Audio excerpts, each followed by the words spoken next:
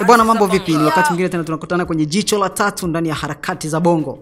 Uh, leo kikubwa tunaenda kuwatazama Ommy Dimpoz na Ben Paul. Kitu gani ambacho tunaenda kukitazama siku ya leo? Yes, hata katika mpira wanasemaga ni vyema kama ambao umeona kwamba mwenzako anaweza akakusaidia chance, labda anaweza akakupa pasi nzuri ili wewe ukascore, ni vyema ukakubali kwamba bwana, tucheze wote, lakini kama unaweza kunichezesha vizuri basi nipe mapande ya maana, mimi nipige goli, alafu mwisho wa siku ushindi inakuwa ndo kitu cha msingi. Lakini katika upande wa sanaa, hasa muziki, ah, tumeshuhudia wasanii wakubwa sana duniani kama kina Beyonce, kama hata kina Justin Bieber wakiwa wamekubali kwamba wanaandikiwa kazi zao za muziki, si kwa sababu kwamba hawawezi kuandika, lakini wakati mwingine huenda kuna ngoma ambayo inaweza ikawa unaiona ni kali sana, lakini uwezo wa kuiandika huna.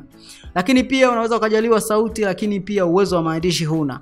Lakini kibongobongo imekuwa ni swala ambalo wasanii wengi sana wanalikataa. Wasanii wengi sana wanapinga kwamba bwana, anaona kama akisema kwamba nimeandikiwa nyimbo labda na mtu fulani inakuwa ni ishu kubwa sana, au mashabiki watamuona kwamba uwezo wake ni mdogo lakini kwa wasanii wawili uh, Ommy Dimpoz na Ben Paul wamekuwa wawazi kabisa kukubali kwamba sisi tunaandikiwa. Ben Paul ametoa ngoma yake inaitwa Wapo. Katika ngoma hiyo amefunguka kwamba hiyo ni ngoma ambayo imeandikwa na Kusa. Kusa uh, watu wengi wanamjua kwamba ndio anaandika nyimbo nyingi sana za Ruby. Uh, nyimbo ukianzia Ntade mpaka nyimbo nyingi za sasa ambazo anazitoa Ruby zinaandikwa na Kusa. Kwa maana hiyo Ben Paul aliona uwezo wa Kusa akaamua kumchukua twende studio, alafu Kusa akaichora ngoma vizuri kabisa, alafu bwana mkubwa akaenda akaingiza sauti akatoa kichupa and then ngoma iko mjini kwa sasa. Lakini tukirudi nyuma, hata kwenye Moyo Mashine aliwahi kuzungumza kwamba ni ngoma ambayo iliandikwa na Goodluck Gozbert, kwamba Gozbert alichora ngoma ile, jamaa akaichukua akaingia booth akatia voko, kichupa kikatoka, maisha mengine yakaendelea. Lakini msanii mwingine mkubwa Dimples, Ommy Dimples ashawahi kukubali hilo swala kwamba mimi naandikiwa, na tunakumbuka katika nyimbo ya Wanje alisema kabisa kwamba ile ngoma imeandikwa na Tommy Flavor. Lakini pia hata ngoma ya You're the Best ambayo ameitoa siku za hivi karibuni ambayo imefanya vizuri sana, pia alikubali kwamba hiyo ni ngoma ambayo imeandikwa na Tommy Flavor.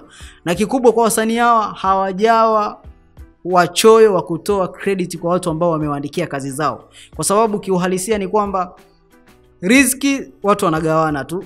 Kama kuna mtu ana uwezo mkubwa sana wa kuandika lakini uwezo wa kuimba hana, kwa hiyo ukishirikiana na yule mtu, ina maana kwa namna moja ama nyingine mnasaidiana kugawana riziki, kwa sababu yule atakuchorea ngoma kali, wewe utaingia booth, utatia voko kule, ngoma itatoka kali, mtashuti video, hela itaingia.